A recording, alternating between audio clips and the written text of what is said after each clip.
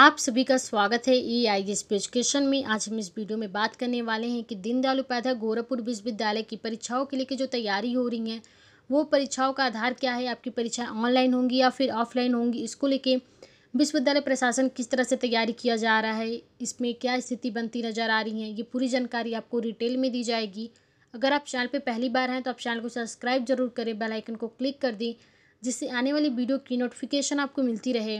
तो दीनदयाल उपाध्याय गोरखपुर विश्वविद्यालय की ही बात नहीं है, पर देश के राज्य के विश्वविद्यालय में भी वार्षिक परीक्षा करा पाना ऑनलाइन परीक्षा करा पाना तो संभव नहीं है, ना के बराबर ही है। लेकिन फिर भी दीनदयाल उपाध्याय गोरखपुर विश्वविद्यालय के कुलपति प्रोफेसर बीके सिंह ने क्या कहा, ये हम आपको बता देते हैं। तो प्रोफेसर बीके सिंह ने कहा है कि शेष बची परीक्षाओं कराने के लिए प्रोफेसर बीके सिंह ने कहा कि शेष बची परीक्षा कराने के लिए 20 से 25 दिन का ही समय चाहिए, लगभग फिफ्टी परसेंट परीक्षाएँ हो चुकी हैं, शेष परीक्षाओं के लिए टाइम टेबल बनी हुई हैं।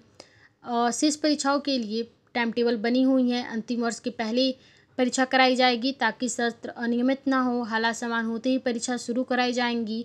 ऑनलाइन परीक्षा के लिए बिल्कुल अलग तरह के संसाधन चाहिए, जिसमें कि बहुविकल्पी प्रश्न ही दिए जा सकते हैं।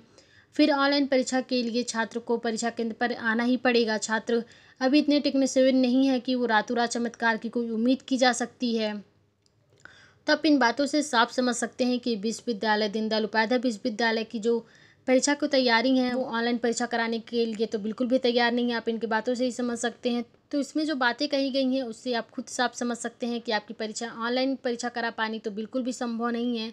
तो आपकी परीक्षाएँ ऑफलाइन ही कराई जाएँगी, पुरानी पत्ती से ही जिस तरह से आप परीक्षा देते आ रहे हैं, आप उसी तरह से कि आपको परीक्षा देनी होगी। टाइम टेबल बेतैयार कर लिए गए हैं, बस हालात सामान होने का इंतज़ार किया जा रहा है। तो ये तो साफ़ है कि दीनदयाल उपाध्याय गोरखपुर विश्वविद्यालय में फ़िलहाल ऑनलाइन परीक्षा को लेकर तैयारी नहीं की जा रही है। आपकी परीक्षा ऑफलाइन ही कराने को तैयारी की जा रही है। तो आप चैनल को सब्सक्राइब करें। जैसे ही कोई और जानकारियाँ आती हैं तो वो आपको सबसे पहले पता चल सके।